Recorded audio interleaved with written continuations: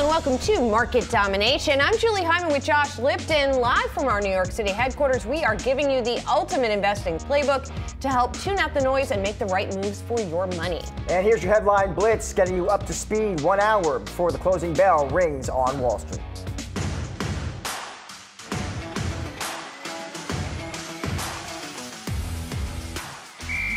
In a higher interest rate environment, certainly higher than 0 to 1% or 0 to 2%, stocks traditionally do very well. So I think we're recalibrating that. We still think from these levels, stocks are higher at year end. Now, our official year end target is 5,100. Our bull case is 5,500. We published that in November. So we, we think that we're going the, the market post earnings could get a little bit softer and give us an opportunity to be a little bit more aggressive in terms of buying stocks lower. Boeing needs to do three things here. Uh, they need to understand lessons learned, develop a good understanding what the issues were, what went wrong, uh, implement the changes, and hopefully uh, the new CEO and the 90 day plan that we're working on right now does that. The last quarter of 2023, there was an order inflow of more than 9 billion. And in the second half of the year, 13 billion. So it's, it's just lumpy. And ASML already said for a long time that you never look too close to uh, the order inflow. We've got one hour to go until the market close. Let's take a look at the major averages here. We are not seeing much change in the Dow in particular. It's down just about 18 points, but that's not even good for a drop of a tenth of 1% after it had that sort of a late day move downward yesterday. The S&P 500 a little bit more deeply in the red here, about 4 tenths of 1%, and the NASDAQ composite down 9 tenths of 1%. We continue to watch sort of political events that unfold today, including an announcement by uh, President Joe Biden that he would like to impose more tariffs on steel and aluminum coming into the United States. So that's something to watch. Um, and then there's, of course, still a lot of earnings that we're sifting through as well. All of this, of course, the backdrop for which is rates and what's going on there, actually seeing a little bit of relief on the rate front in today's session, down seven basis points on the 10 year.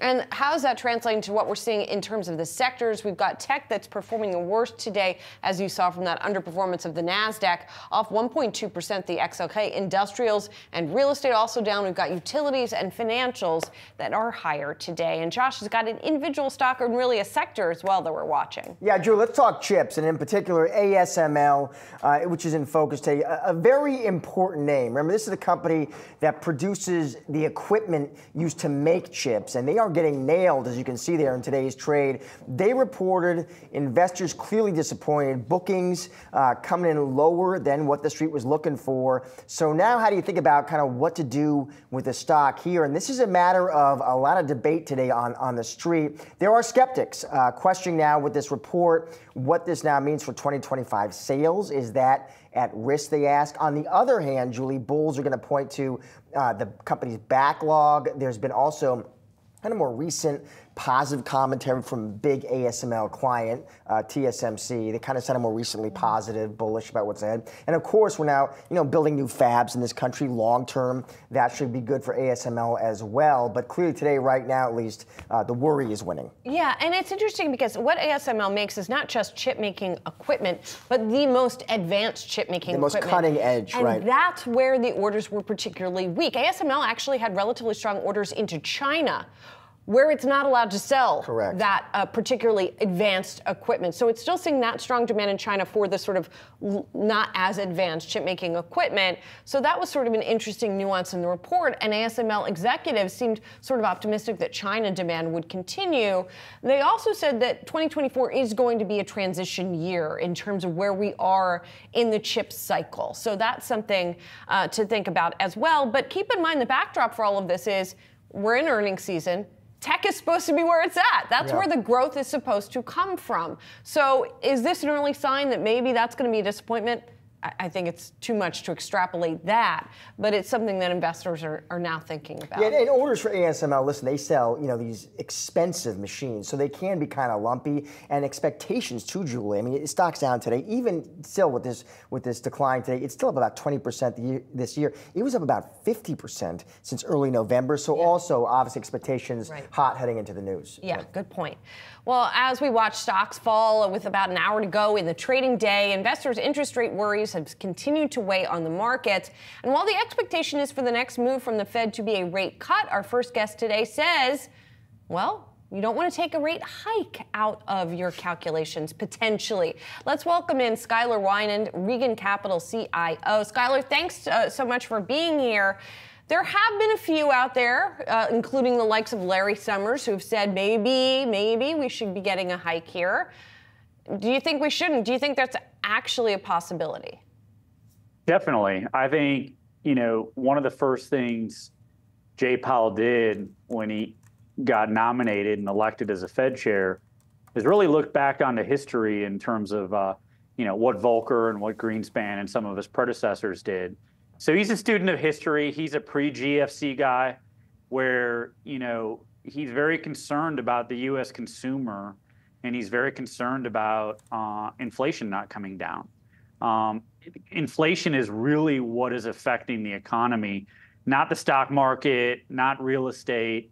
It's uh, folks that earn a W two and are spending more money at the gas pump and the grocery store. So if anything. But but Skylar, the economy is doing just fine, isn't it, by most metrics? That that's inflation. The, that's the problem, right? Is that there's a tremendous amount of wealth that's been created since COVID. $40 trillion in US wealth has been created since the year 2020. That's housing, that's the stock market. So financial conditions are excellent. It begs the question why would they even think about cutting rates? So when is, is inflation's your, high and unemployment's doing great. Skylar, what's your base case there? Is your base case they just hold steady this year? Yeah, for sure. And, and they they have a very very minute window to cut, which is June. That's the only possible time for them to cut. They're not going to cut in be- in July, which is in between the, the Republican and Democrat convention. They're not going to cut in the fall right before the election. So June is the only possibility for them to cut. And the data is telling us that why? you know, everything's going great. If anything, the economy the economy is running too hot and they might need to raise interest rates. Okay, so if they are not going to cut this year, I mean, stocks until recently, until we saw uh, yields start to rise more considerably, stocks were holding up pretty well. So, what happens with yields? What happens with stocks um, if we don't get any move this year? Right. So, we see the front end of the curve, T bills, twos, kind of staying where they're at. You know, five and a quarter, five and a half on, on money markets.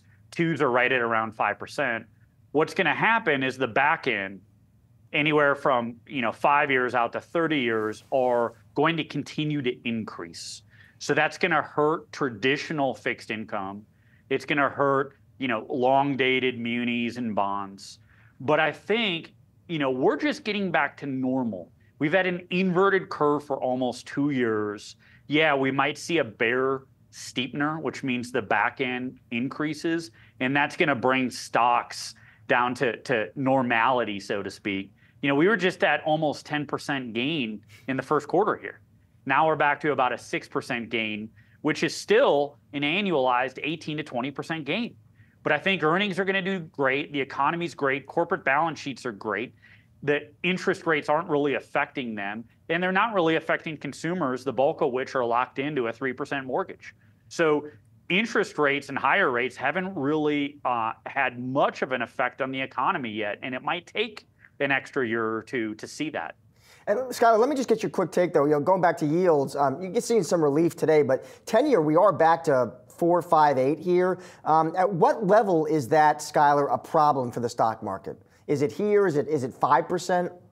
It's well above five percent, if not six percent, right?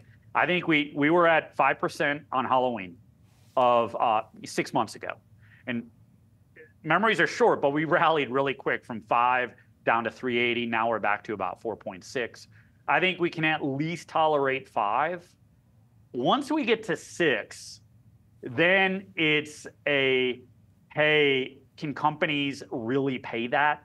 you know, as a as a new cost of capital when it's been three to five for a long time. Um, but you know, when that happens, we'll again have a steep curve, which benefits traditional fixed income, benefits even corporations that carry trade, where they can borrow short and invest long. So that steepener, while it might be a little bit painful if you own long duration, will eventually help the economy. When, when are we getting to six, Skylar? um, it could be quicker than we think, you know, but I think that's when you really go all in on, on fixed income, especially longer duration fixed rate assets. We hear people every day from the big institutions saying, hey, now's the time to buy fixed income at 4.5% or 5%. But if you're buying it into an inverted curve, traditional fixed income metrics and, and ways of doing business don't work. Bond ladders don't work. The carry trade doesn't work. So we could see, and we said we had a really bad 30-year auction last year, uh, last week, where you know the tail was something like you know six basis points above where where the market was trading. So I don't know if the demand's there on the long end, um, whether it's pensions, insurance companies, or foreign governments. But yeah, I think we can survive upwards of about six percent before um, we really see that effect seeping into the stock market. Skylar, thank you so much for helping us kick off the show today. Appreciate it. Thank you all. We are just getting started here on market domination. Coming up, we're going to hear from Bank of America CEO Brian Moynihan. It's coming up later in the hour, talking inflation, the state of the consumer, and of course, a lot more. And stick around for the latest edition of our series, Good Buy or Goodbye. We'll get investor insight on two assets to help you make the best choices for your portfolio. All that and more on market domination.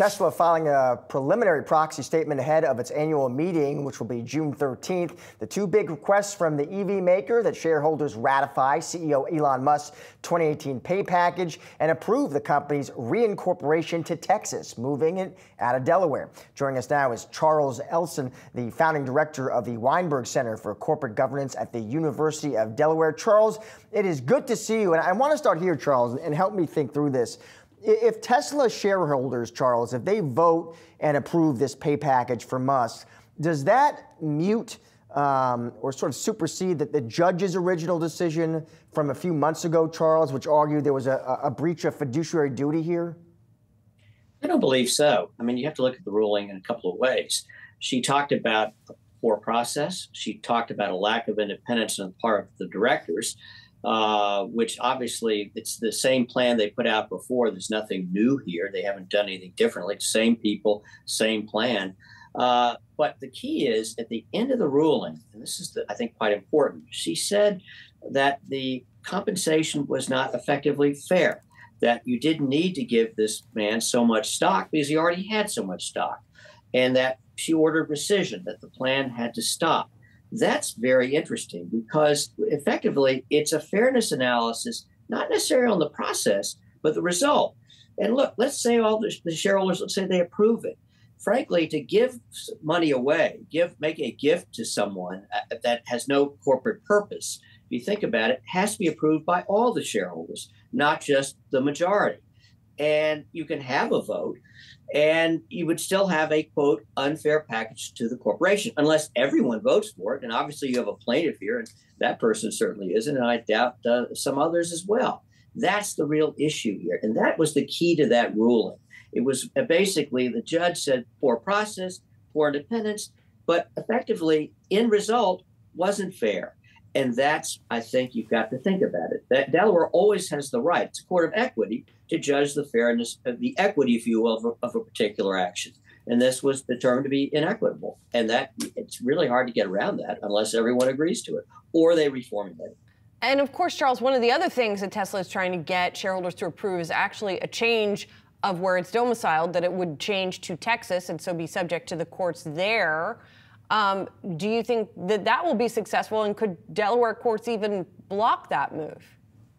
Well, yeah, there there is there are some actions in Delaware now where folks have sought to leave Delaware to avoid Delaware jurisdiction in a particular on a particular issue. I think that would be challengeable. But the real question is, why would a shareholder vote for a move that the CEO says a court has decided against me because what I did was inequitable. So I'm going to a jurisdiction where, where they'll say that's okay. That Delaware protects shareholders, yet I, am going to move to a place where I'm telling well, you that. Well, the, uh, the answer is, don't. Charles, because the shareholders of Tesla have faith in Elon Musk, which is why they approved the, the pay package in the first place. I mean, couldn't you argue if the shareholders w- want to do that, why not let them do well, it? it, it but I, I, would really be surprised if the large institutional holders would agree to that. It's against their interest, any way you look at it. And frankly, who's to say a Texas court won't do exactly the same thing, won't respect the Delaware ruling? It, it's a very sound ruling. There's nothing odd about it. He can appeal it to the Supreme Court, which I assume he'll do. But, you know, that's up to the Supreme Court. If they find it was inequitable, they'll strike it down. But the point is, you can't change states because you don't like the court you're in. You don't like the results you've got. Uh, that's a very strange uh, idea if you think about it. Oh, I, am not happy with the answer you gave me, so I'll just go to somebody else. Uh, that's not the way it's done legally in this country. And uh, I think the shareholders hopefully will agree. If, he, if, if the judge thinks the package was problematic and the Supreme Court agrees, then perhaps it's time to refresh the board and come up with a different package. But to simply leapfrog a court uh, and move somewhere else. I'm moving out of the United States because I don't like their law. That doesn't make sense either. The law protects the shareholders, it protects the investors. Certainly Delaware does, and I'm sure Texas does too. But uh, it's a very uh, odd response, and I'd be very surprised uh, if a majority agreed to it. They may, you never know, but I think it'd be rather foolish on their part to do so. And I, the question is, will would Delaware let them evade a ruling by moving to another state? Would Texas let them do it? I, that's a problem for Texas. Texas uh, decisions are enforced in Delaware. Should they not be anymore? I mean, that makes no sense. I, I think it's a uh, it's a grandstanding move that uh, you know gets a lot of talk and chatter from uh, from folks, but I, I, don't know if real in the end it's realistic or frankly fair to the shareholders. Simply so, stated. So Charles, just briefly then, where do you think this all leaves uh, Tesla, Elon Musk's pay package? What do you think the outcome of all, all this is? You know, that's a really good question. He, you know, obviously made a lot of money with his equity in the company, but uh, he wants more. Look, at some point, you know, someone says, if you don't give me this, I'm going to blow myself up. You have to say, in the end, okay, uh, you know, look, the company has to survive Elon Musk. The obligation of the director is to assure that Tesla's value is perpetual, not based on one person one person dies, leaves, uh, that's that can't be the end of the company. And at some point, you have to say enough. But that's where I think you need board refreshment. And obviously, this board is unwilling to do it. It, it. At some point, no one is that good or that indispensable. And I think that's the problem here. It, it's more of the, the hype, if you will, around the personality cult as opposed to what's happening. Look, Tesla has lost value this year. Tesla's got some issues. Yeah. And we've been running the company okay. Are you delighted that the stock has gone down, you know, this year, or that production profits are off? Obviously, something is not right there. Right. And are you going to say, "Thanks so much. Here's a here's fifty-five billion dollars. You're terrific," because you want either you get you get it or you leave. That makes no sense. Well, in the end, really business. We'll see what ends up happening. Charles, great to get your perspective. Thanks so much. Thank you. Thanks. We got some calls of the day now for you. Let's start with Urban Outfitters. Jefferies downgrading the stock to underperform, citing risk to shares of the company based on slowing traffic data. Uh, this was an interesting note uh, coming from the team over there, Corey Tarlow, Randy Konik, et cetera. And those guys talking about increasing competition and losing market share from Urban Outfitters from the likes of Shein, the, of course, the, the Chinese company, as well as Abercrombie, and even I, I thought this was interesting, even mentioning Old Navy and Gap yeah. as gaining some traffic numbers. Yeah, saw acceleration in trends at some competitors, mentioned Abercrombie, Old Navy, Gap stores. Um, but on Urban Outfitters says we see uh, recovery to flat comps by Q4 as bumpy. Uh, new leadership appointments help, the analyst saying, but market share shifts likely to remain sticky. He's pointing out uh, Abercrombie, for example, has been gaining share. Stock is down today, basically flat so far this year. Mm-hmm. In terms of the street, uh, three buys, nine holds, and now officially one bear over at Jefferies. Yes, the lone one. The lone yeah. one. Doesn't mean he's wrong. Turning now to GE Vernova, Raymond James initiating coverage on that one with an outperform rating. So Raymond James, they like what they see here, initiated outperform. Price target is 160. Says the company combines strength across a broad spectrum of conventional and renewable generation as well as grid technology. Uh, Vernova, they say, involved in practically everything. Yes, and by everything, they mean when you're talking about renewable energy, power, the power business, the wind business, and electrification, basically the updating of the grid. Now, wind electrification, according to the analyst, had negative EBITDA margins in recent years. So power is where the cash is going to be coming from, although the other two areas are growing more quickly. But to your point, the analyst there likes that they're sort of, and it's Pavel, by the way, Molchanov over there um, at Raymond James, who is initiating the coverage. He does like that they're exposed to sort of multiple different areas of the renewable energy story. Yeah, uh, earnings announcement, by the way, looks like April 25th, so expect more uh, news and insight at that we'll point. Be looking for it. Coming up, it's the latest edition of our series, Good Buy or Goodbye. Today we're going big with a look at exchange operators. What's the best way to play it? Find out next on Market Domination.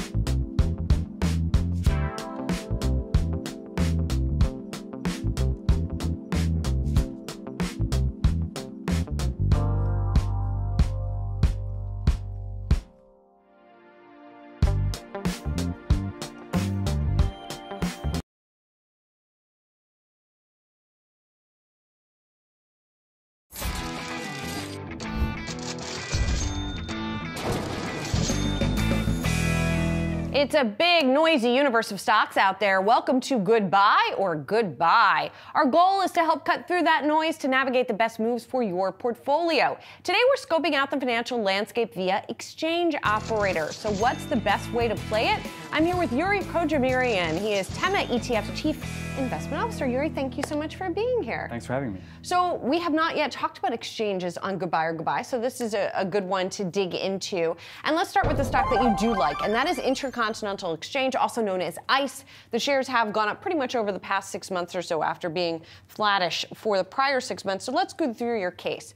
Um, first of all, it's not just an exchange operator, right? They're a data uh, data provider, and they are also they also just made an acquisition, a company called Black Knight, that will help them expand into the mortgage market. Talk talk to us about why that's attractive. Yeah, absolutely. I mean, look, financial exchanges they're all about data. They're about understanding how you know the trades that happen on these exchanges, how to collect that, and how to create data, and it's about ease of transactions. And what ICE has done quite ambitiously relative to other exchanges is to go, okay, can we apply this to another very, very large financial market, which is mortgages? So they've gone in, they've acquired a few select technology businesses. They've spent somewhere in the region of $25 billion acquiring these, Black Knight being the latest example, which I think they paid 13 billion for. And so the idea is, can we put all of this technology together and create essentially a one data chain for the entire mortgage process, from origination to servicing to all kinds of other parts of the mortgage process, effectively making it like a financial instrument, which is a really interesting strategy. Hmm, that is interesting. All right, so let's get to the second thing here. Um, finance increasingly moving on exchange. What talk to us about what you mean by that? Yeah, so if you think about how the world looked maybe 30 or 40 years ago, a lot of transactions, financial transactions, were happening on paper, over the phone. And what's happening is a lot of this was quite risky, right? And we saw with the financial crisis and all of these things, we need to centralize where these transactions are happening. We need to clear them. We need to create risk parameters around them. And exchanges are a perfect place for that. And so what you see is more and more financial transactions are being moved onto exchange. I mean, even the rise of Bitcoin, or uh, cryptocurrencies, is a very similar sort of thing. Can we centralize it? Can we really get more and more information out of these trades, which helps regulators, helps users, decreases costs, decreases friction and creates data businesses for these companies. And for people to know, ICE owns the New York Stock Exchange, but it also owns a number of other exchanges yeah. and not just stock exchanges for other types of financial instruments, to your point. Yeah, so they're big in interest rate derivatives and they're big in energy. They, they own the Brent complex, so everything that's traded in terms of Brent and oil. So they have huge commodity businesses. They're also really big in carbon, so they're running the carbon emissions markets in Europe and also in the United States. And it's really one of their biggest and core franchises. There's also trading of fixed income and other areas right. as well. And then finally, as well, you, it's a founder led business. Jeffrey Sprecher is the guy who started it, leads the business still. Yeah, I mean, it's a fascinating history of how he set up this business. And really, it was a, a, brilliant idea and insight, and he's still leading the business today. That's quite rare in some of these large financial businesses. MSCI is another example of that, where you have active brokers as well. I yeah, believe. exactly. And so you have founders in some of these financial businesses, and they're really still driven in building this. And that's why you know he's prepared to take this risk, what he's doing in the mortgage market, so do something different to create a lot of value for shareholders, which he's done in the past already. So when we talk about these, we always like to mention what the downside risk could be, and in this case, post-deal leverage. As you said, they've made a lot of acquisitions. Yeah. So the Black Knight was the latest acquisition. The balance sheet's a bit more levered than you know the classic exchange. These are cash machines, though, so over time they'll surely deliver and maybe start buybacks or other ways of returning money to shareholders. They need to invest in these businesses as well because it's a difficult transition technology wise. But over time, that's what we think will happen. But leverage is always a bit of a risk, right? Things can go wrong. And so you have to watch that as an equity investor. And just quickly, do you have a position in ICE? We do, yeah. So we own ICE in our fund, which is focused on monopolistic businesses. And this is a perfect monopoly. It's all about network effects. The more people trade on each side, liquidity begets more liquidity and creates strength for ICE as a business. Gotcha. Interesting. So let's get to the stock that you do not like, and that is the owner of the Hong Kong exchange. And no shares have fallen quite a bit over the past year or so. So let's get to why you don't like it. First of all, you're looking at the valuation, and I believe you're valuing it enterprise value to EBITDA, if I'm not mistaken. Uh, to, actually, to EBIT is the way oh, probably we look at that. But I think the key thing is the enterprise value, which often is miscalculated. If you look at services like Bloomberg, actually the way they put EV onto the, the screen is not as good as you know, if you do it yourself. And if you do that, you find that ICE actually, despite the fall in the share price, is quite, oh, sorry, Hong Kong Stock Exchange, despite the fall in share price, is actually quite an expensive share. And this is really strange given you know, the growth profile of the business. Interesting. Okay, so let's uh, get to our next point, which is you think the growth that they have had is hard to sustain. Yeah, look, I, I, think there's no secret here, right? That effectively what's happening is mainland Chinese investors are preferring the A share market in mainland China, and foreign investors are actually shunning shares. I mean, we see one of the most successful ETF stories is the emerging markets ex-China ETF. And I think there's a bit of a, a, move away for, by foreign investors from Chinese capital markets. And really the people that feel the biggest brunt are the exchanges, like the Hong Kong Stock Exchange. And that network effect that I was talking about, it's really powerful on the way up, but it's also really powerful on the way down. It can really tear a monopoly apart, and that's why we think that you know the growth can't be sustained of this business. And, and similarly here, losing market share because you know when we tend to talk about the Hong Kong Stock Exchange here in the U.S. and our coverage is when a company's deciding where to list, for example, yeah. and they're making the choice of some place like Hong Kong or London or the U.S. And so they're losing share that way, I assume, in terms of also trading share. Yeah, so look, as you probably remember a couple of years ago, it was really popular for European businesses to list. So we're talking about Prada, Samsonite, uh, L'Occitane. And now you read the rhetoric from these companies, and they're all saying, you know, actually, we'd rather delist from Hong Kong. The theory before was these are consumer businesses, the biggest consumer markets in the world, the growing ones are in Asia, we should be closer and listed there. But actually what they found is their share prices are trading at big discounts to their peers in Europe, and especially to the ones in the United States. This is really bad. We've seen this with the London Stock Exchange. It's, it's really a game of where you can get the best valuation as a mm. company. And I'm not sure if you're in a boardroom deciding where you're going to list, the Hong Kong Stock Exchange is going to be the place you're going to pick. Interesting. Well, just as we talked about what could go wrong for ICE, let's talk about what could go right for this, and that's a cut in the stamp duty. Again, not something we talk about that often here. Yeah, look, so exchanges, their lifeblood is trading, right? So the more trading that happens, the more money they make effectively. And there's a ways of incentivizing trading, and one of them is stamp duty. You know, in lots of countries around the world, you pay a bit of a tax to the government for trading shares or trading financial instruments. And what's happening in, in Hong Kong is there's going to be a cut in that stamp duty, which might incentivize trading by brokers, but also by local residents. Look, this is quite well telegraphed. It's definitely a risk. It could drive trading up and improve some of the numbers. But beyond that, it's hard to see what growth happens in this stock and this company. And just quickly, what if there was also more of a rebound in the Chinese economy and Chinese stocks came more back into vogue? Would Hong Kong Exchange also get some of the halo effect of that? Yeah, absolutely. That is definitely another risk, right? So as you can see, the share price has been under pressure it's hard to see how that happens necessarily in the financial markets. I think it will happen in consumer markets and other areas like real estate. But yeah, you could see a sentiment-led bounce in the stock, and that probably would be a great time to, you know, load up a short, if you will. Um, and do you have any position in this one? We don't, no. Okay, okay. So let's summarize what you're telling investors here. Buy Intercontinental Exchange, also known as ICE, as it tries to do something different, entering the mortgage market, expanding there, and also finance increasingly moving into exchanges. On the other side, stay away from Hong Kong Stock Exchange, highly valued, might have a hard time sustaining that growth, and it's also losing market share in listings. Thanks so much, Yuri. Really course, appreciate you being here. Thank you very much. And thank you for watching Good Buy or Goodbye. We'll be bringing you new episodes three times a week at 3.30 p.m. Eastern.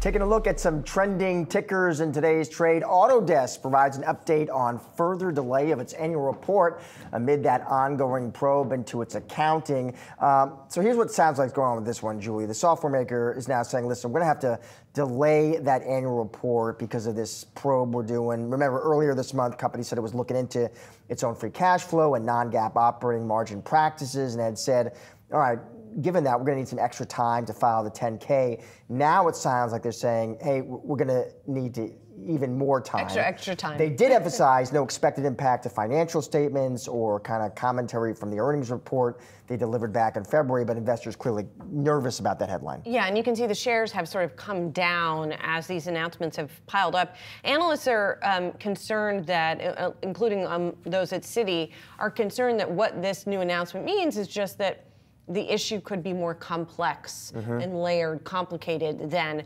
uh, previously thought. So unclear now when exactly this is going to be happening. It does sound like both the company and some of the analysts say they're not worried about a delisting here, that they think that Autodesk will get it done. And, and a delisting, they have longer before they would be delisted potentially. Yeah, I saw this, this note from Barclays, um, and they're overweight the name, but and they said you know that headline was disappointing, um, but said it did not sound like the investigation was going to result in restatements Hmm. or pulling any guidance. They say it was comforting to hear the scope of the investigation has remained the same, but investors clearly, at least right now, not not as comforted. Yeah, definitely. Let's talk about Rivian too. Those shares are sliding on reports that they're cutting. Um, actually, are they sliding? No, they are not sliding. They're in fact still higher. They're sliding Popping a bit. Oh, from their highs of the session here. So what's happening is they're cutting more jobs here. The second round of layoffs this year uh, that we're seeing from Rivian. Rivian has obviously been struggling here. Uh, they had cut 10% of their salaried staff before, and now they're cutting um, more jobs. So it could be what about 150 people. Yeah, I mean, these cover these broader worries too, Julie, uh, for the industry about EV slowdown, ongoing price wars for electric autos, um, and you know, obviously for unprop- a profitable company like a Rivian or a Lucid, it's even kind of tougher environment to navigate. Um, the stock has been really, I mean, it's now down about 60% this year. Yeah. That is, you know, perhaps maybe making a lot of bad news because worth pointing out, most analysts at this point bullish on that name. Well, We'll, We'll see, see. If we'll see if it ends up bouncing. All right, coming up, an interview with Bank of America CEO Brian Moynihan. That's coming up next on Market Domination.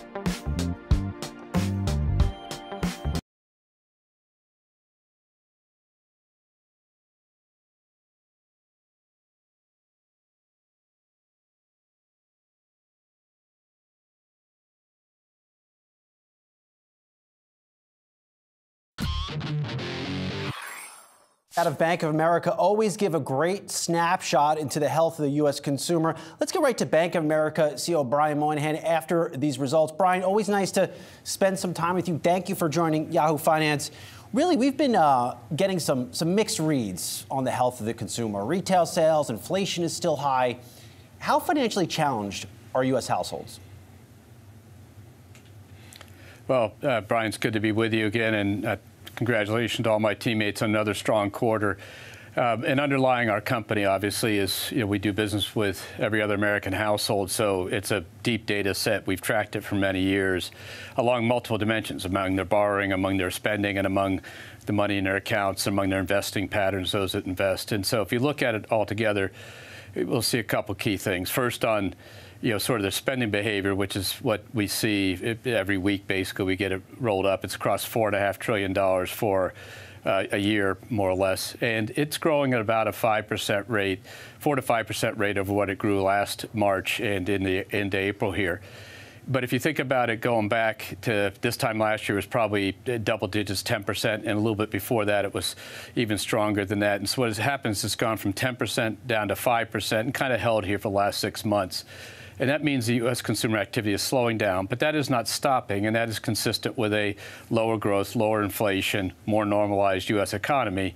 And you're seeing that go on even as we, not only in March, but as we in the first quarter, but also as we enter April. Do you think uh, just this, this sticky level of inflation a lot of us keep looking at, is that causing some of the consumer spending slowdown? Well, if you think about it, inflation makes things cost more. So the dollar volume come up, the real levels will come down. If you look at where they're spending it, it's kind of interesting because, you know, if you thought they, the consumer was really holding back because of inflationary prices, they wouldn't be spending on things that have really price flexibility into them. So, but they are. They're spending on entertainment, on uh, restaurant spending is growing faster than uh, uh, food at stores spending, and th that means that they are making choices, spending sort of discretionary and necessary in the same percentage they spent uh, pre-pandemic, and that means they're kind of in a normal pattern. So I would say inflation is on their minds because things became more expensive, and they can remember when, and remember when what means when it was 10% cheaper, 15% cheaper. They can remember that because it's not that long ago. And yet they're sort of adjusting to that, and that's what happens, and that's why they slowed down the growth in spending, and that's why they're still spending. But the question is what happens next, and that's what we'll find out as we move through the quarters this year. Brian, you've been at this for, for, for quite some time. You've seen a lot of different economic cycles. Are, are you surprised inflation is just maybe not coming down as quickly as some had hoped? Well, when, when, we talk to our experts uh, in our research team, which is the best in the world, they, you know, they've done research about how long it takes to uh, win the war on inflation definitively from inflation down to the, uh, the, target levels. You know, it takes two, three, four years. It's not something that happens overnight. And so, and especially given that coming out of the pandemic, the amount of stimulus that went in that was needed, and then the amount of stimulus that went in that may not have been so needed, according to the economists, and the amount of other stimulus that went on top uh, of that when all the borrowing the you know, federal government did in the United States, the state governments did, and the governments around the world did, that put a lot of money into the economy, and we're still bringing that impact out. So taking a few years from starting in 21 to you know into 25 to get it down to trend growth uh, is really kind of consistent with the past. That's what the economists tell me. We'd all like it to be over tomorrow so we could have certainty of where the Fed's going and what the you know terminal rate, the, the front end rate would be, or the neutral rate would be, and all the different debates. But the reality really is that they've got to win the war on inflation, and they are winning, and it's coming down, and they've got it on the right trend. And that, that's the great debate. Are they going to hold rates a little higher to make sure they've got it on the right trend? And so it's always been sticky the, the, past would tell you it would take longer period of time, especially when they started late, and they admit that, and therefore it took a little longer to bring out of the system, or will take a little longer to bring out of the system. Brian, I always love reading your uh, your company's earnings reports. It's probably the most detailed banking earnings report out there in the game. So many great stats, and one that caught my attention was you added. I, I hope I'm right here. One million new credit cards. I mean, that is a mind-blowing figure. Who is opening these credit cards, and, and what do you think they're coming to you for? Well, in the end of the day, if you think about our credit card uh, capability, it's not a standalone credit card company. It's integrated into the, the way we do business. So we have a customer model, uh, consumers and wealthy people. They use credit cards. We give them rewards on those credit cards for using them, the preferred rewards, as we call it. About 90% of, uh, of our consumer balance are tied, uh, attributed to uh, Preferred Rewards customers. So the affinity that we reward them for is being part of Bank of America, money offered on loans, deposits. And as people in the market see that offering, that you know we have cashback programs like everybody else, but we really have this Preferred Rewards program where they can save money on their home loan in higher interest rate environments, on their car loan. They can get higher uh, savings rates. You know, they basically bring their credit card over too, so they get the entirety of the award, reward program. And so it's it's integrated across all products, and that's why people come to us. It's the value proposition. It's a very competitive market, the credit card business is. So if they're taking a million new cards, that means we're offering something they want. There was a graphic that went around on, on Twitter, Brian, right after your earnings, showing the FICO scores in your various lines of business, and they are just just amazing. I mean, they're close to 800. Uh, how do you think? Is this some of the best FICO scores you've ever seen amongst your consumers? And what do you think has been driving that? Well, the American consumer is employed, uh, and they are earning more money, and they're fighting with inflation, especially at the uh, you know, median income levels, and it's, it's tough on people and food prices and all that. Not to make anything out, out of the human you know, uh, uh, issues that go on with this kind of inflation and as it tames and stuff, and that's why it has to be done. But at the end of the day, they're employed and earning more money and earning substantially more money than they earned pre-pandemic. They have more money in their accounts, and so their FICO score, scores should be very strong, honestly, and, and, and they are. We've always been a prime underwriter. We've always underwritten to the very prime end of the spectrum uh, because of just who we are and how we run our company. Um, and so if you see, I think it's 770 on some of the scores uh, on the credit cards, uh, the, the scores at origination, and very strong, and we're very proud of that the reality is, is our credit card charge-offs are back to where they were sort of pre-pandemic, and it's taken four years to get back there. But those are still, you know, that charge-off rate is really in the all-time lows of the company's history. What was going on in 19 and 18, so it's not like we're normalizing to bad credit; we're normalizing to good credit, and we feel very good about the portfolio. Brian, I'll just say this. You have a large following here uh, within the Yahoo Finance community, and it's really because you always keep it real for us. Uh, Brian Moynihan, the CEO of Bank America, thank you so much for, for giving us the time here. We greatly appreciate it. Thank you, Brian. All right, guys, back to you.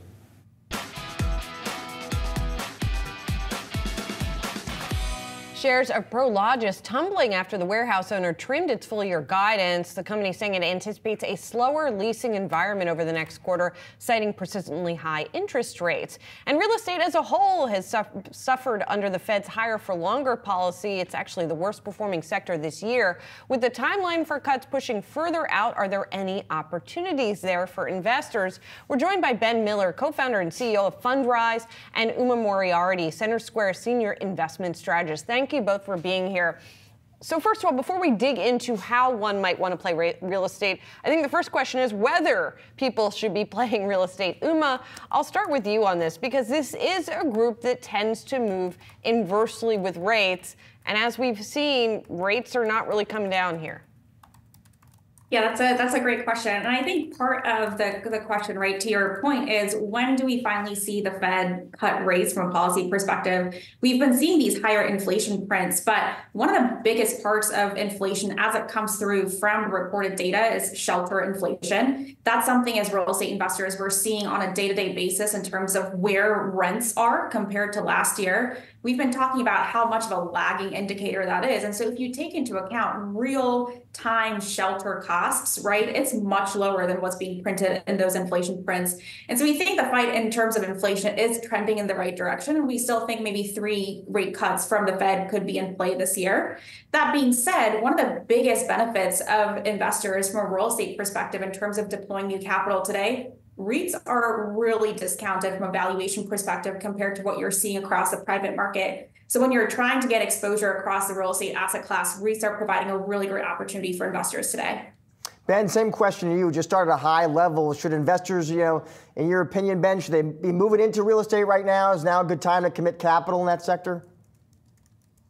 Our view is real estate bottomed. It bottomed uh, at the end of last year, and uh, you know, real estate moves inversely with with interest rates. Interest rates have peaked, and in my opinion, uh, they may go sideways for longer, but I don't think they're likely to go much up from here.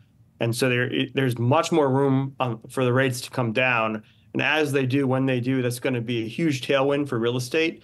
And so on the interest rate environment, I think it's it went from zero rates to five. That was very hard on real estate. Now I think the the the asymmetry is on the other side of it.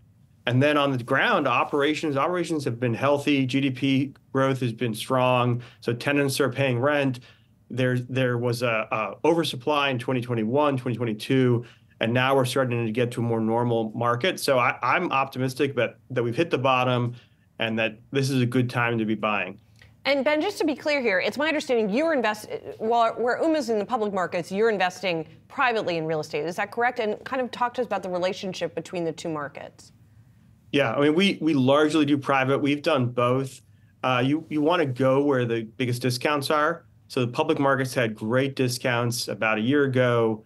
Uh, you know, the the REIT market has recovered a lot since then, and the private markets uh, there's a lot more distress. There's a lot less liquidity. There's um, uh, a lot of people who borrowed too much in 2021, and I think you're starting to see some uh, some uh, market forces that are going to push them to have to sell at deep discounts. And so at this point, I think although there's some again the, the public markets for real estate are a lot better than they were, but I think that there's a lot more um, sharpshooting opportunities in the private markets. Uma, just to bring you back in here, I know you mentioned how uh, you see opportunities in REITs. Where, where, in the market do you see opportunity, Uma? You know, is it data center, healthcare? What looks attractive to you?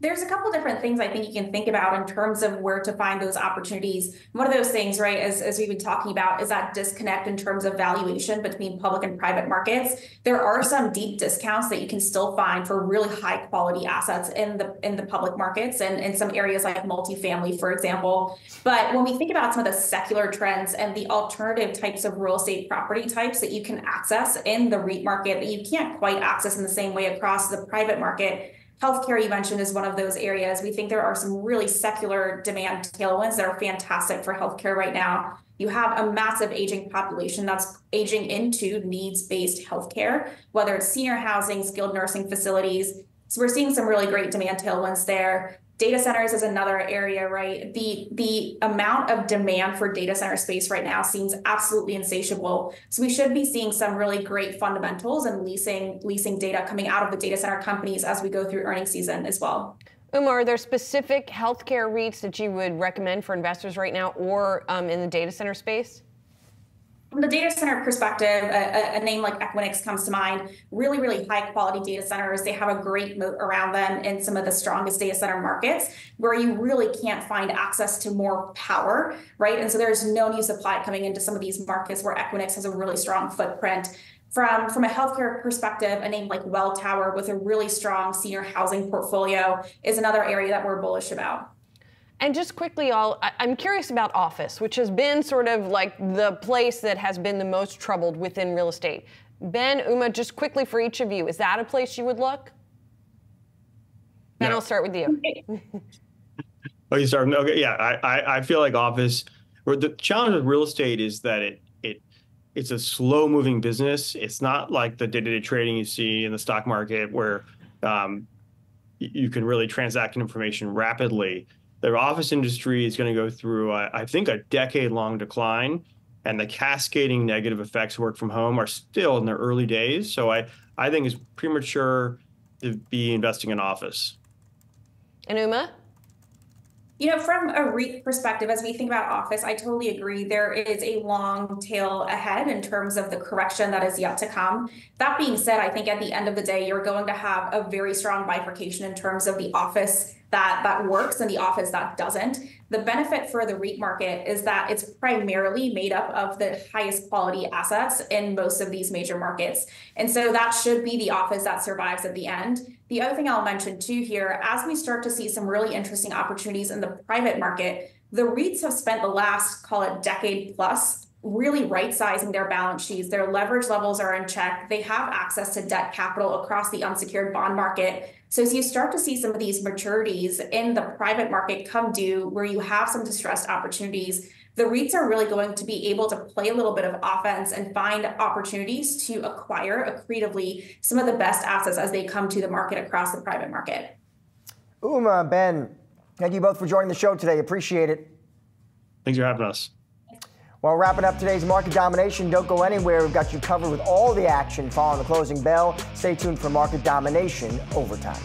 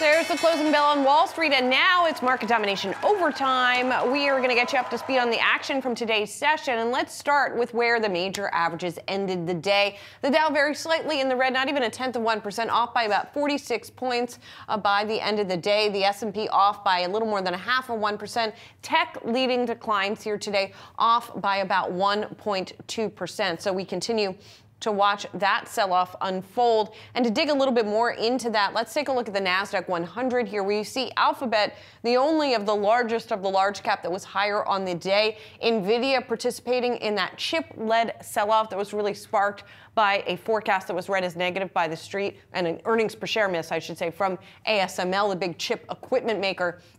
And so that's spreading through a lot of tech as well. But getting back to some of our trending tickers it was interesting. There were some political announcements as well today, or developments, I should say, that also percolated through the uh, market. And we're seeing in our trending tickers page on Yahoo Finance. One of the stocks we were watching on that front was Snap. And obviously, this is a, an uh, illuminating intraday chart because you saw a big spike up when we learned that the legislation that could potentially force ByteDance to sell TikTok, divest from TikTok, or ban it in the United States, that that was being fast tracked. So we saw the move upward in Snap, obviously a competitor to TikTok uh, on the day. And then the other uh, stock that stood out in that category if I can get it back for you, was First Solar, and that's because there was some news about tariffs uh, that could advantage the likes of a First Solar. So those shares moved up on the day as well. If I can't get the chart for you, I'll just send it back to uh, Josh in a minute. But here we go. First Solar up about 3%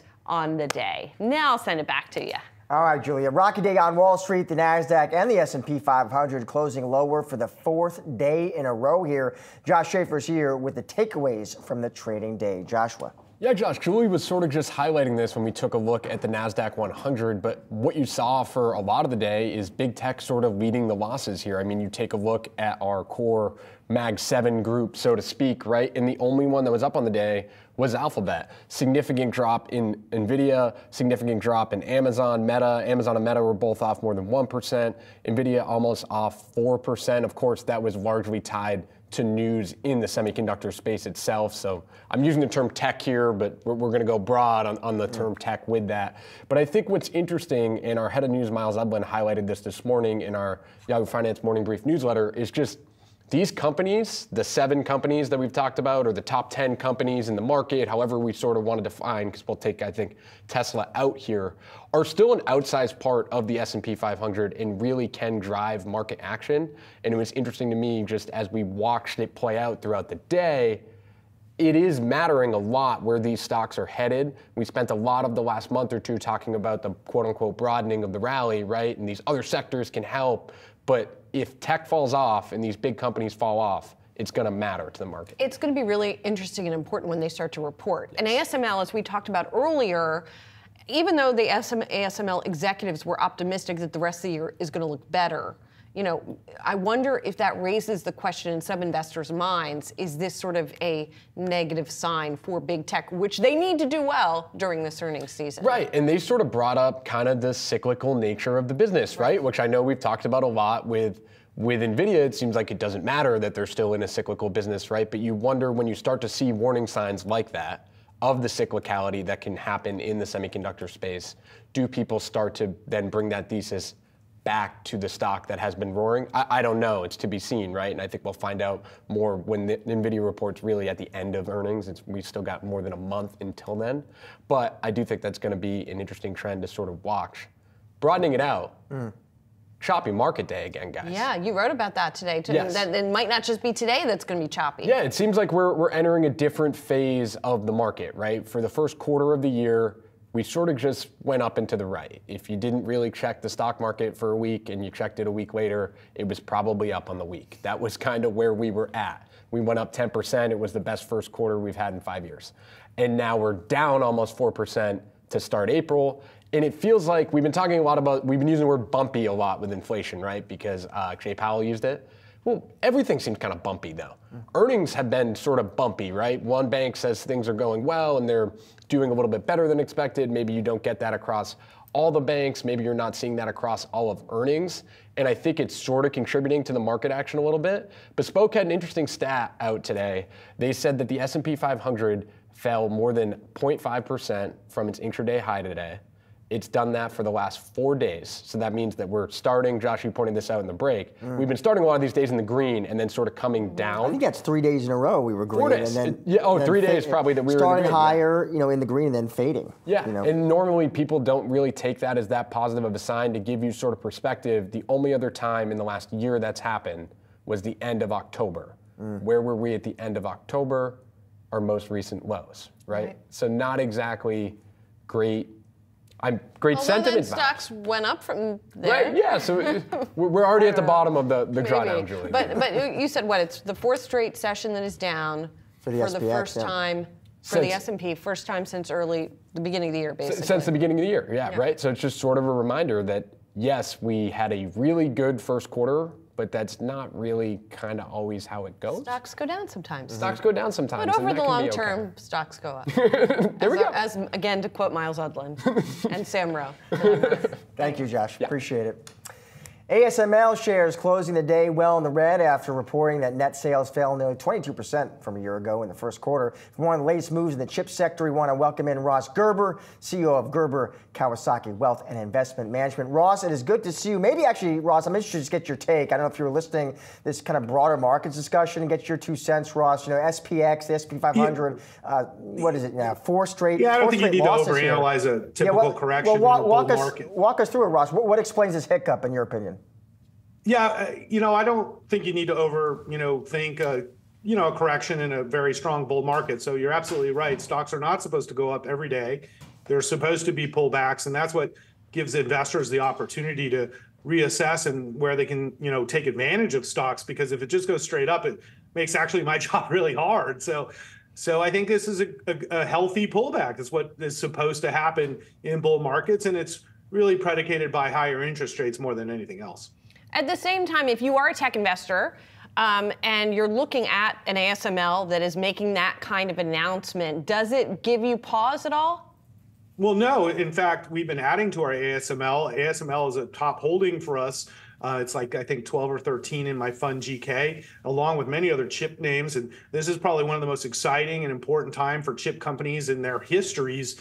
Um, so with ASML, they had sort of this air pocket, which which they've telegraphed because a lot of the chip equipment makers were waiting to see what the Biden administration was going to do with all this cash they were going to give them. And in the last couple of months, really last couple of weeks, we've seen the announcements now of massive amounts of cash being sent to Taiwan Semiconductors and others. And that's all going to be spent on ASML machines. So I think we're going to actually see a pickup in orders, as they said, in the second half of this year. And then when you actually look at all the chip you know, factories that are going to be built over the next several years, this couldn't be a more bullish time for a company like ASML, which makes a machine that they are the only company that makes this machine. And this machine is what you need to make AI chips. So it's pretty straightforward. So we're buyers on the pullback for sure.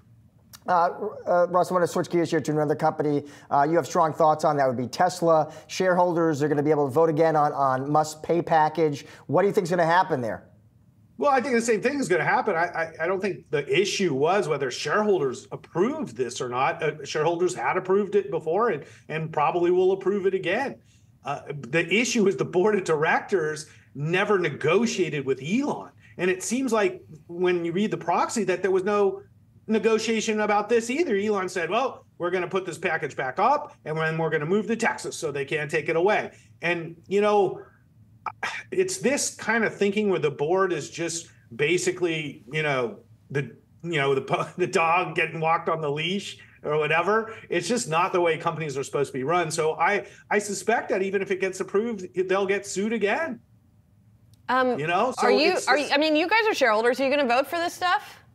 I, you know, I've been thinking about it because I did vote for it before, and and and now I feel like the CEO of the company should be working at that company like pretty much every day, if not every day. And so I think in seeing his performance over since he bought Twitter, I would require in this pay package that he come back to work at Tesla full time. But I would vote for it if that was the case. But if he's going to keep working at Twitter every day, I don't see why like he's even CEO. You but know, they're not. like, but they're not changing it, are they? Isn't it exactly the same? Yeah, it's the same thing, and that's why I'm Right. saying it's stupid because even if people approve it, it'll get sued again, and then they're back in court. And moving to Texas, I don't think necessarily solves that problem because Texas is trying to run their state as a shareholder friendly state to attract business. And, you know, just because Elon's a big employer there doesn't mean he's going to get the judge he likes. You know what I mean? So I think the issue is the board of directors of Tesla. It has to have independent directors. It's just required by law. And, and until they do this, anything the board does can be invalidated.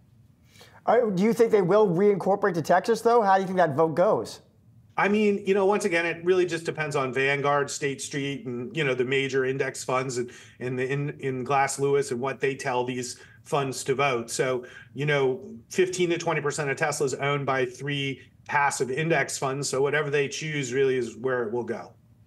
Um, Ross, you were adding to ASML as the stock goes down. Are you adding to Tesla as the stock has gone down? No, it's the it's the opposite. We've been sellers of Tesla over the last six months, and I'm so grateful we did it. You know, if you really chart my fund GK versus Tesla, which was our top holding substantially by a large amount up until let's say November with the anti-Semitic tweets, was when we started lowering our position. And and thank God we have because you know we've outperformed Tesla this year by something like 50% differential you know, and if we would have kept Tesla where it was, it would have been a kind of a dismal year for us. So, so I'm really grateful we took the moves that we've had. We've trimmed Tesla down to a reasonable position. It's about a 2% position in our firm and in my fund. I love the company. I just want to make it clear the products are amazing. It's a great company with great employees. And I just think it's being mismanaged at this point. And, and it, you know, I think their strategies are not working. So, you know, uh, we've lowered our position. I, I, I hope I don't end up selling out of this position um, because I do think the long term for Tesla could be amazing if it had the focus of a full time CEO. So you're trimming Tesla, Ross. Are, are you putting more money to work in other EV makers?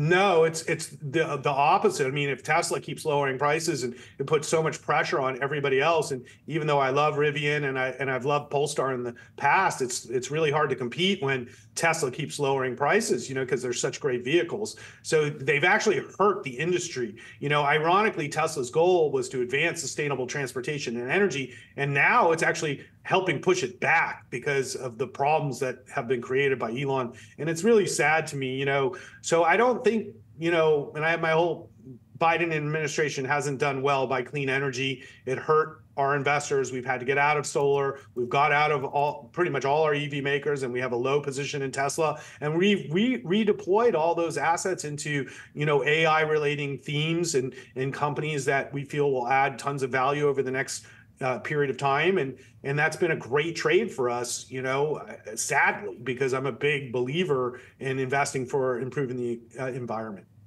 Ross, good to catch up with you as always. Thanks a lot.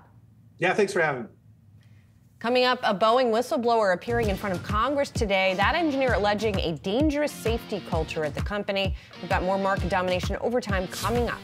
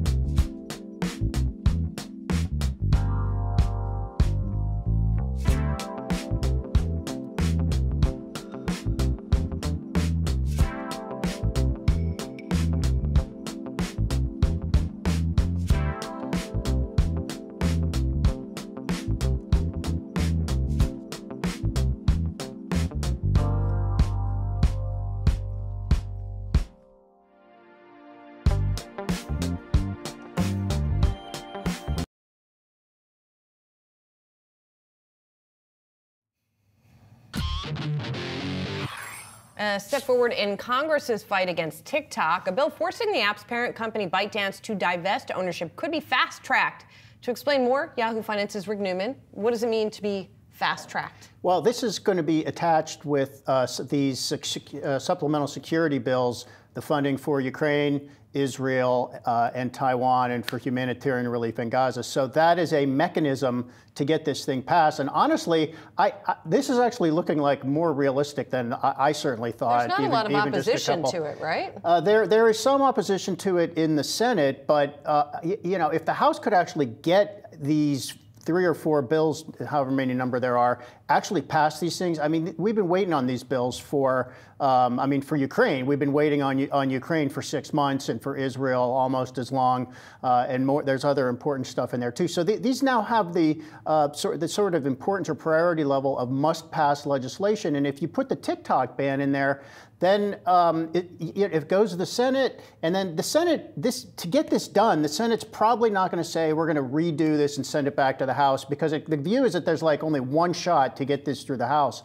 So this is looking a lot more plausible than I think it did uh, even just a couple weeks ago. Now, just to be clear, um, this is there are two parts to this. It would it would the main thing is to force the Chinese owners to divest ownership of ByteDance. The main thing is not to shut it down. The main thing is to just force a sale. So this this this uh, platform that's so popular in the United States is not owned by a Chinese company.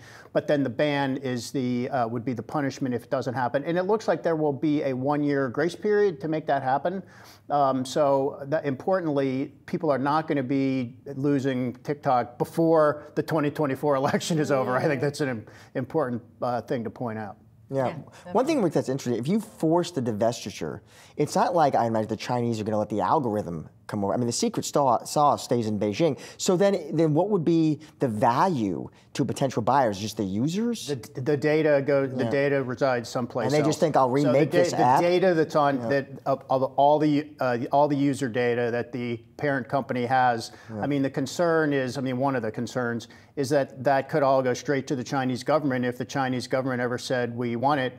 Um, which they can do. I mean, you can't do that so much here in the United States without certain court orders and stuff, but they can do that in China. And also that the Chinese government could use TikTok for propaganda purposes, um, which has not happened yet. Um, but the concern is that it could, and they're trying to just head this off. All right, Rick, stick stick around. Uh, we're going to bring in this next one, Rick, too. Gas prices on the rise, helping fuel inflation in March. High inflation also weighing on the Biden administration as the 2024 race heats up. At an event Tuesday, White House senior advisor John Podesta saying the president will do what he can to keep prices down. Let's bring in GasBuddy head of petroleum analysis Patrick De Haan and Yahoo Finance's Rick Newman is here with us as well. Patrick, maybe just set the stage for us first. Uh, gas prices, Patrick, where are we now? How much have we jumped up? So far this year, and, and where do you think we're headed next, Patrick? Yeah, we're up about 60 cents from our January low of 303. We're at 367, kind of teetering on that. We'll probably hit 370 here in the next couple of days as mid Atlantic and northeastern states see the uh, effects of the rollover to summer gasoline. So we're headed higher, but you know, we saw a bit of a technical sell-off developing here later uh, after the EIA numbers came out. They were pretty bearish at least when it comes to gasoline demand, which is still relatively anemic. So, um, you know, there's some light at the end of the tunnel here. I do think gas prices do continue going up for the next week or two, but I'm sensing we're getting close to the uh, potential end of the spring rally. Interesting here, but uh, as we've talked about with you, Rick, many, many times, the direction of the gasoline price is closely tied to sentiment around the Yeah. president, and not just President Biden, by the way. This happened Yeah. with past presidents as well. Yeah, ga- gas prices. I mean, the typical household spends only about three percent of its budget on gasoline. I mean, this just has a But the mind has an share- outs, way outsized effect on consumer psyches. I mean, if if there's one price everybody sees every day that tells them, uh, you know, are things a bargain or are they too expensive? It's gasoline prices. Um, I, I would ask, actually ask Patrick, what is the danger level for President Biden? Do you think in terms of gas prices? It does, does seem that when we when we uh, turn over from a number that starts with a three to a number that starts with a four, that that's that gets people's attention. Is it just those firm thresholds, or is it something else? Yeah, it really is those key psychological barriers here. I mean, we're what six, eight months away from the election. If we saw the national average at four dollars, uh, you know, that's going to have a strong correlation to uh, uh, Biden's approval numbers, and I think they would tank. And so that's really the danger zone. Now we don't see that. Uh, you know, there's still the potential hurricane season is supposed to be very busy later this year. I think Colorado State gives a 40% uh, chance of a hurricane hitting in somewhere uh, on the Gulf Coast between Texas and Houston. So that's going to be a wild card. But absolutely, there is huge sensitivity. You couldn't have said it better that Americans, you know, the gas prices, whether they need to fill their tank up or not, that's the sense of their feeling about the broader economy, whether it's inflationary or disinflationary. That gas price is really the polarizing number. And I'm also interested, Patrick. Uh, you noted uh, recently if you want affordable gasoline, you said defragment the summer gasoline requirements. What does that mean, Patrick? Walk us through defragment. Well, you know, it, it, as you mentioned there just a little while ago, Podesta signaling that the Biden administration would love to bring down gasoline prices. I don't know how much more I have to shout from the rooftops. Is that the fragmentation is what really kills gas prices every spring. That is, these different areas across the country have different requirements, different entities regulating them, whether it's the California Re, uh, Air Resources Board, which supersedes the EPA. Arizona has its own blend. You know, th- this map from 2004 shows 17 different types of summer gasoline in use across the country. Now, it's not that bad now, but it's still uh, certainly an area that could use improvement. Stick with one blend or maybe two, have that in use across the US so that when a refinery goes down in the Gulf Coast or in Chicago, that gasoline can be shipped and, and purchased um, across these state lines. And that's, you know, really what leads spring prices up every spring. I mean, the increase this year, absolutely predictable. And part of the big reason is the switch over from winter to summer gasoline. So, Patrick, I follow you on Twitter, and I notice you're a big fan of the idea of drawing down the strategic reserve to get gas prices down. Yeah, you know, I, I, I, the temptation. I mean, 2022, right? That's kind of a slippery slope there. A lot of folks like to think that's political. Certainly, you know, you can make a strong argument that a $50 barrel jump in oil relatively quick, uh, quickly with the Russia invasion of Ukraine could merit. I mean, it's a strategic reserve, but what it's not is to be used for strategic uh, strategic price reduction. I know that's probably a temptation, but you know, it, it, it, proved its weight in gold, the strategic reserve after Russia. Trump wanted to get rid of half of it to pay down the debt. Biden obviously tapped it. It is strategic, and it's not just there to be used to reduce prices. And Patrick, did you take that Podesta comment where he said President Biden wants to keep the prices low and will do what's necessary? Did you take that as him leaving the door open to tapping the SPR? You know, after I did a little bit more digging, some of the sources and a lot of the headlines are certainly, you know, whether they're tilted or, or indirect. And I don't, I, I, went through some of the comments Podesta made, and it did not seem to me that that was a direct statement. Thank goodness, because sick and tired of politicians alluding to the fact of using the SPR. But I think it just highlighted that the administration is watching gas prices. Uh, hopefully, they will not use it for simply price reduction, but uh, it's a temptation that politicians have when they see a piggy bank with you know 364 million barrels of oil. Uh, it's going to be a temptation. So, Patrick, um, one thing a lot of people don't realize is that we are at record levels of oil production here in the United States domestically. Uh, and it's weird for President Biden. He can't really take credit for that because he, of course, is the guy who wants to uh, get rid of the carbon economy. Is there anything Biden can do with regard to domestic production to bring a little bit more oil onto the market uh, while we're heading into the 2024 election, or is does he just have to basically be hands off? Yeah, I, I, think how he paraded into the White House and went after the oil industry is certainly not. I mean, it's going to be doublespeak at this point. So uh, the right is already angry that he tapped the SPR to utilize in the, the case of Russia's invasion of Ukraine. They're they're angry that he shut down the Keystone. They're angry that he uh, made it more difficult to drill on federal land. And, and now, if he swings the other way, uh, he he certainly risks the other side of his uh, of his electorate. That is, the folks that put him in the White House certainly liked his environmental policies. So you know, it, he, he's kind of left himself in a corner here, uh, and it's going to be hard to get out of. And there's not a whole lot that he could do to repair that that damage uh, when he uh, paraded into the White House and immediately took those executive actions. Patrick, good to see you. Thanks a lot. GasBuddy's Patrick De Haan and our Rick Newman. Thanks to you both. Meanwhile, Boeing is front and center on Capitol Hill today. Safety officials and whistleblowers testifying about safety issues with Boeing aircraft in separate hearings. One of those whistleblowers, Sam Salehpour, a quality engineer, spoke out on what he saw during assembly and warned about the implications.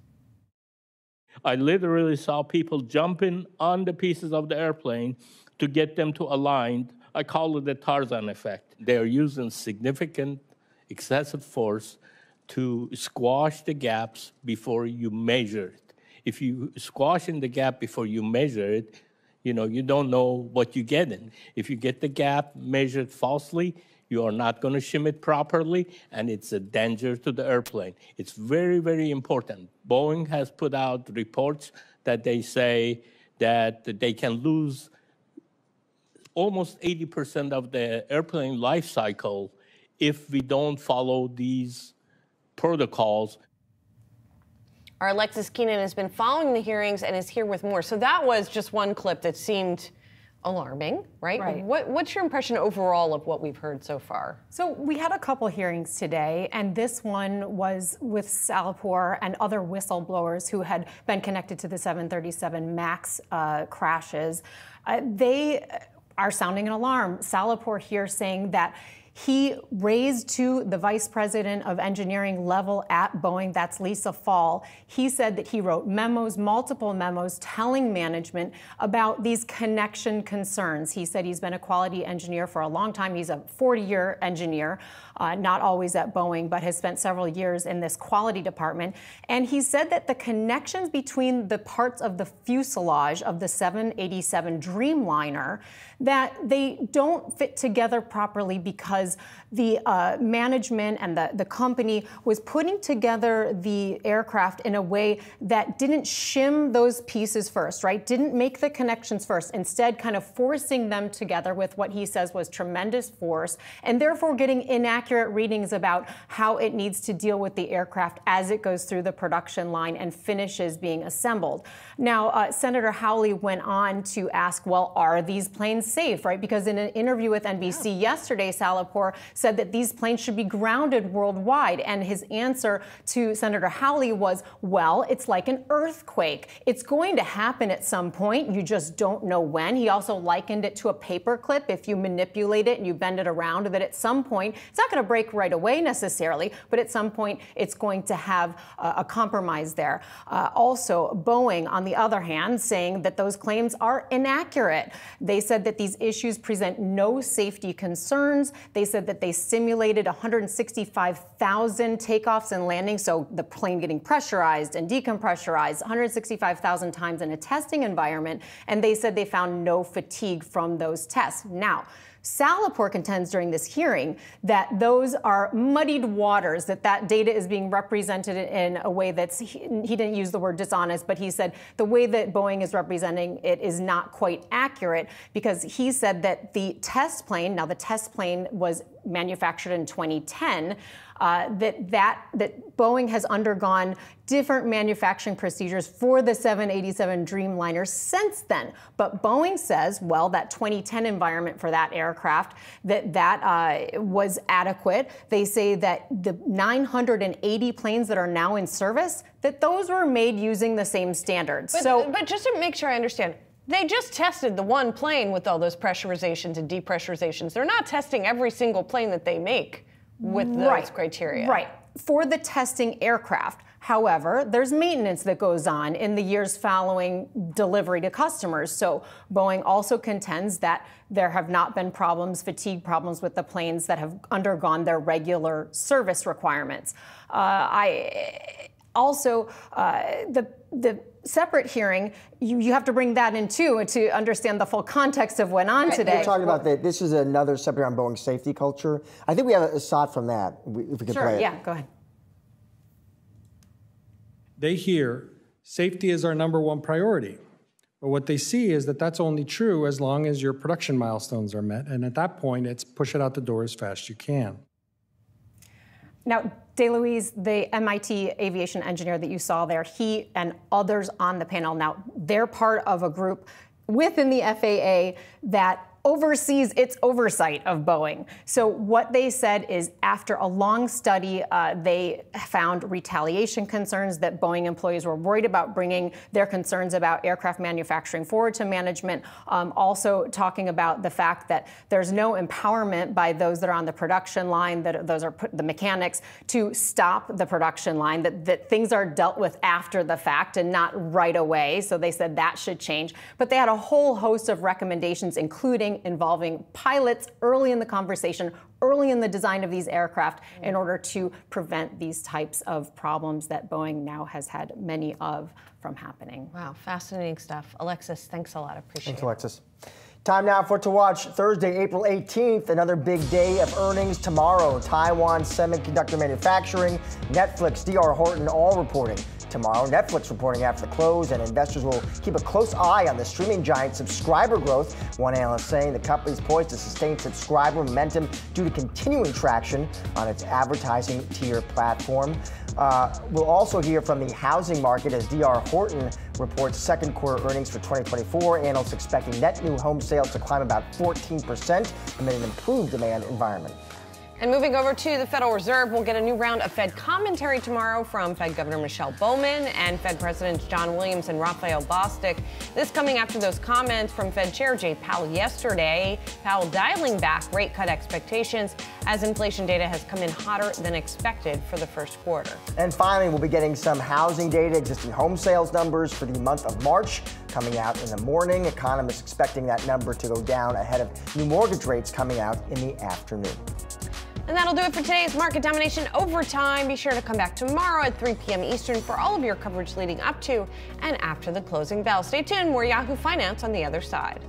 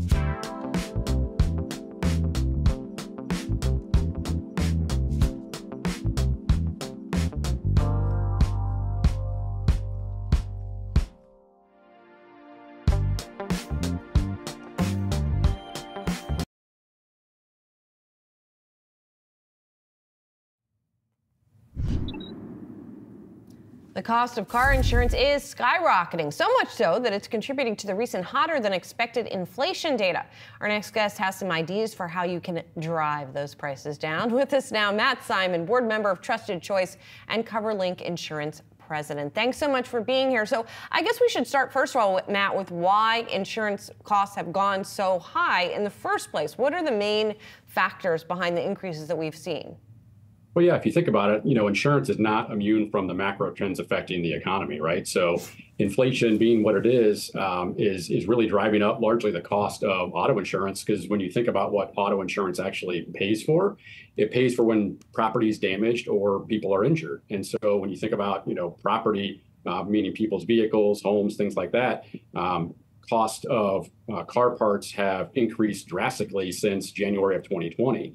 And then the second piece of that, you know, cost of, of medical care if people are injured, we all know the cost of that has gone up um, substantially. So really, the auto insurance industry is reacting to you know broader macro trends that are affecting the overall economy right now. And Matt, are, are we also seeing more accidents on the road that we used to? Is that also uh, another possible contributing factor?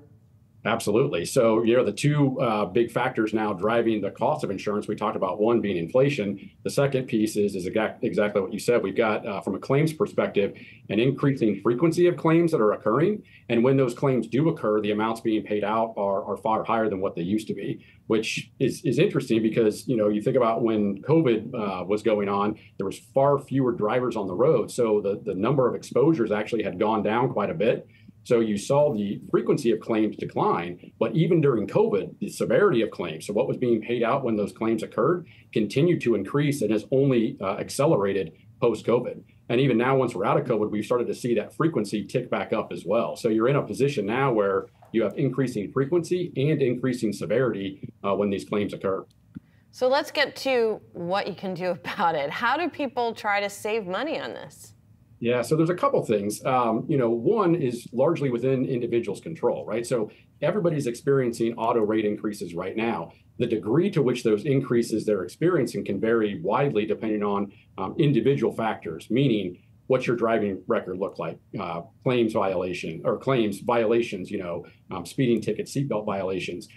The, the more that you can control those, obviously, the better off your your uh, premium is going to be. Uh, the second big piece is, you know, a lot of carriers nowadays are offering discounts for telematics. So carriers, you know, just like most other industries, want more data on their individual drivers so they can better price each individual risk. And they're willing to provide discounts to those drivers that are willing to implement those those telematics, usually meaning an app that you download on your phone that tracks your, your driving behavior. Um, the other big piece of it is I think consumers need to be smart about how it is that they look at their insurance in terms of uh, how they plan to use it. Um, it's not for the nickel and dime type claims. And so, two big things that consumers can do. Number one, look at increasing your deductibles.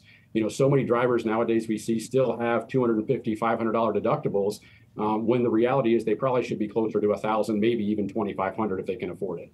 That would certainly help drive their, their cost of insurance down quite a bit, which dovetails into my second um, suggestion is, you know, don't use your insurance for the nickel and dime type claims. So don't turn in small claims if you if you can avoid it. And if you're going to do that, you might as well go ahead and increase your deductibles because you're not planning on turning those smaller claims in in the first place. How uh, how much time, Matt, should people um, excuse me spend shopping around? Are there big differences?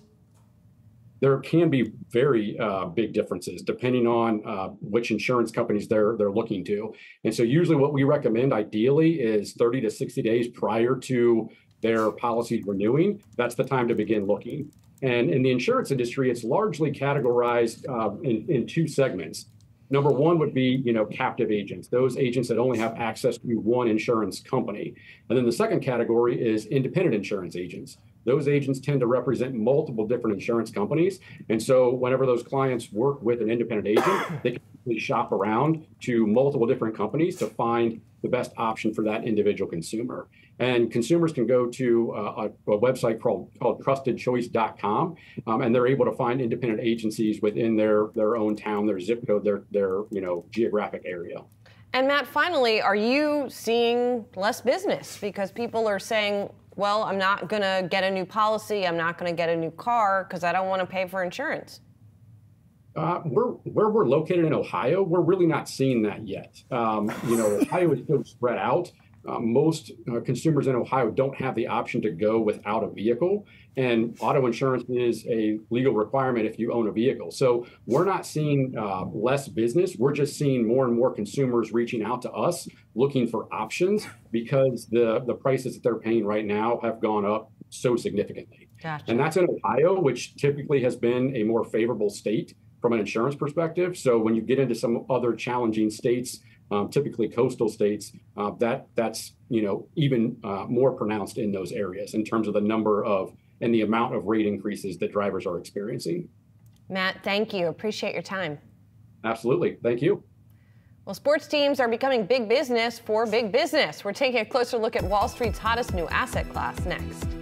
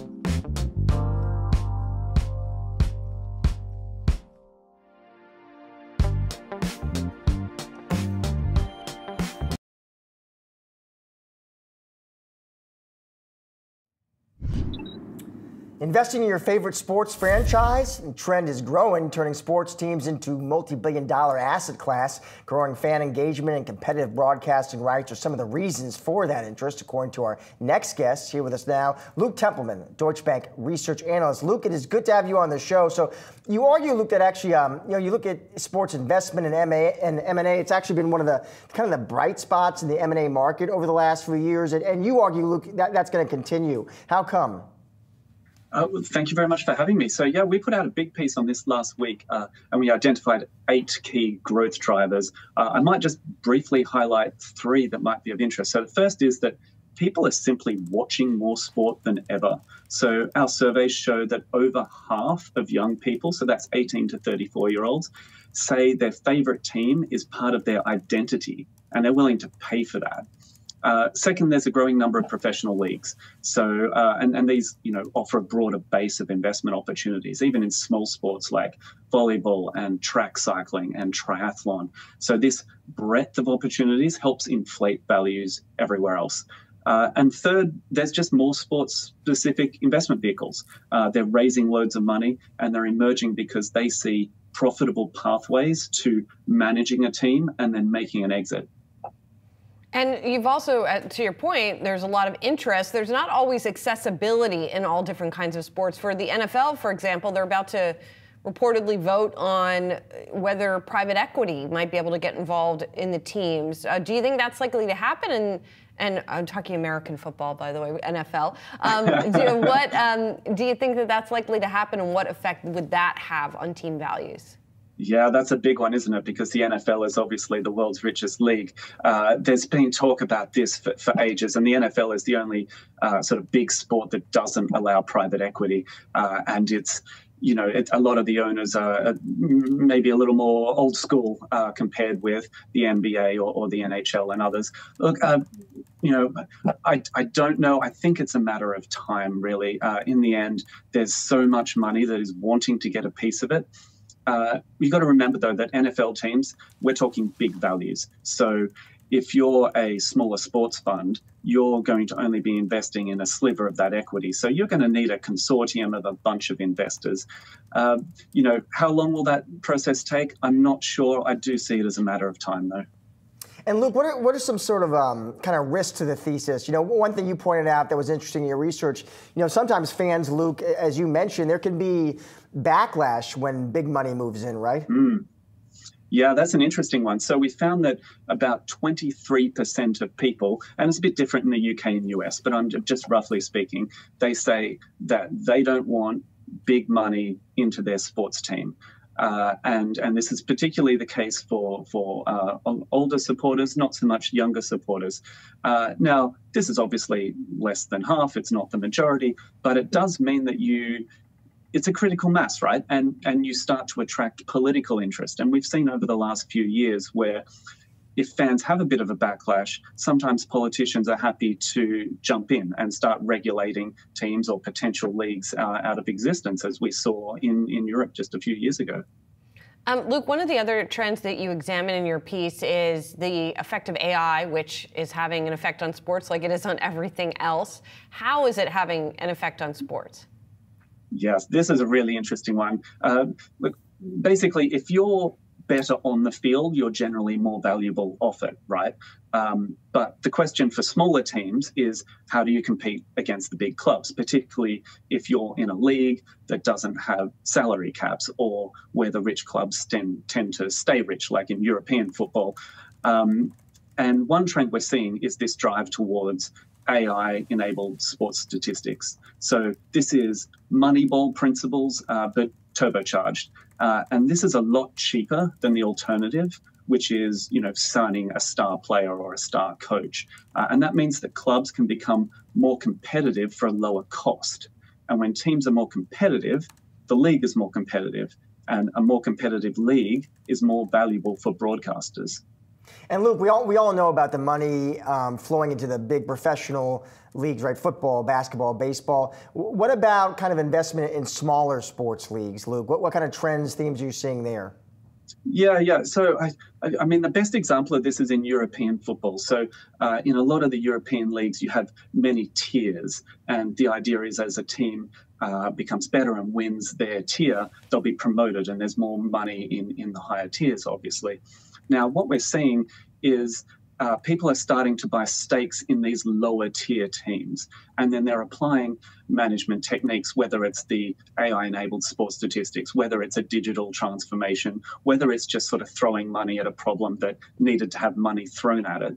Uh, and then they're managing that team up the tier. And then if you can get into the UK's Premier League or into European football, all of a sudden you get a big jump in your revenues, and that obviously makes your team more successful. And because there's so many of these investors looking to do this, there's a semi liquid market so you can make your exit. So there's this profitable pathway that investors can now see. Um, Luke, all of this is great for people who can afford to buy sports teams. For the rest of us, there are a few pathways to invest, right? You've got Man United, which is publicly traded, for example. You've got at least one sports team in the U.S., Atlanta Braves. You know, you've got Madison Square Garden. Uh, Mm-hmm. you know, you've got different sporting rights. Um, what do you think is a way for regular folks to, to look at this trend?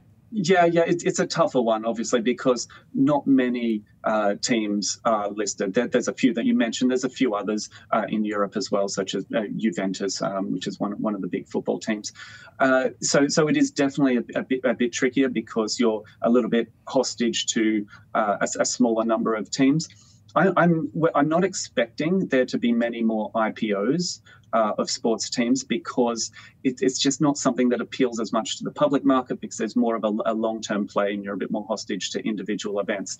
Uh, but what I am expecting is that more and more of these private investment funds will make themselves accessible uh, at lower levels to the public. Now, you know, I, I don't know what those thresholds are going to be, but we're seeing more and more of them raising more money and they want to be accessible. People want to be part of it. So I would expect that either at the fund level or uh, at an LP level, they'll be then become more accessible um, via these private channels.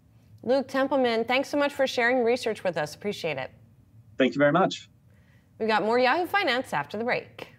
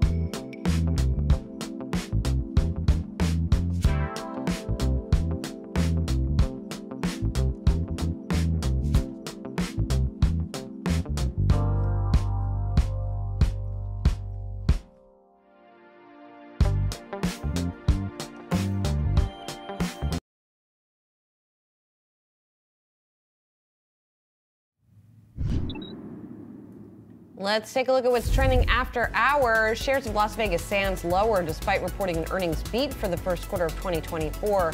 The casino and resort company posted adjusted earnings of 75 cents a share. That beat the analyst estimate by 15 cents. Revenue rising nearly 40% to about $2.96 billion, just above estimates as well. And CEO Robert Goldstein says the company saw strong growth in Macau and in Singapore, but results at the Macau locations broadly missed Wall Street estimates. Goldstein added that LVS has been benefiting from a rebound in tourism and travel spending in Asia. And shares of Alcoa moving higher after the world's eighth largest producer of aluminum topped revenue estimates for the first quarter.